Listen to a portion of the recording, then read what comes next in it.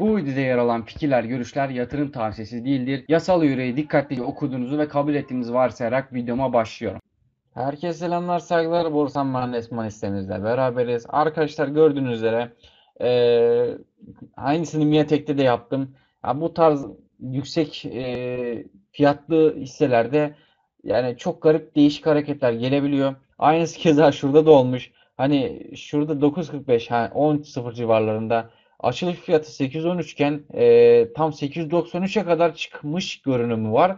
Ondan sonrasında arkadaşlar zaten eee, bakalım Pazartesi miydi bu? Aynen pazartesi kapanışı nerede yapmış? Tam olarak 863'lerde yapmış. Arkadaşlar yani şu görünüm gerçekten çok garip. Aynısı burada da olmuş. Arkadaşlar tekrardan e, 850 seviyelere bir direnç çalışması sonrasında geldiği noktayı görüyorsunuz.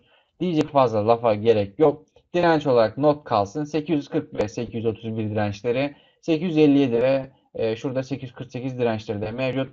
898 ile 889 arasında da bir direnç daha mevcut. Videoyu beğenmeyi, kanala abone olmayı